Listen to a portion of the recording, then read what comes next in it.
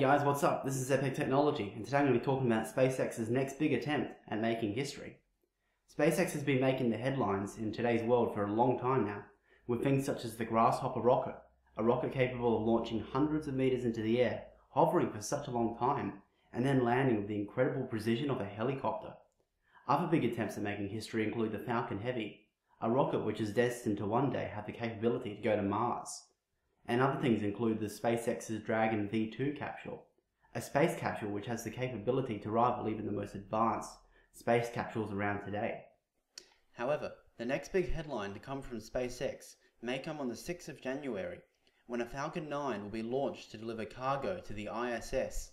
The impressive part, however, will be the landing of the rocket.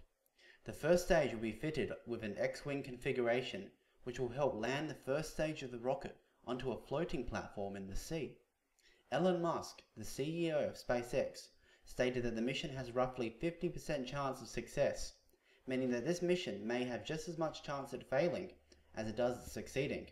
However, he went on to state that there will be at least a further dozen launches occurring within the next 12 months, so the chances of success increase to around 90% by the end of this year. The implications of being able to successfully recover the first stage of a rocket successfully could mean that of massive amounts of savings in money and time. The cost of building the first stage of a rocket is millions of dollars, and it costs a lot of time as well.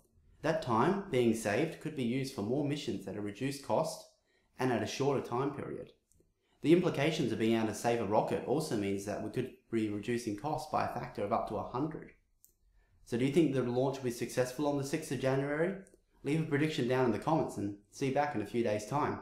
Thanks for watching.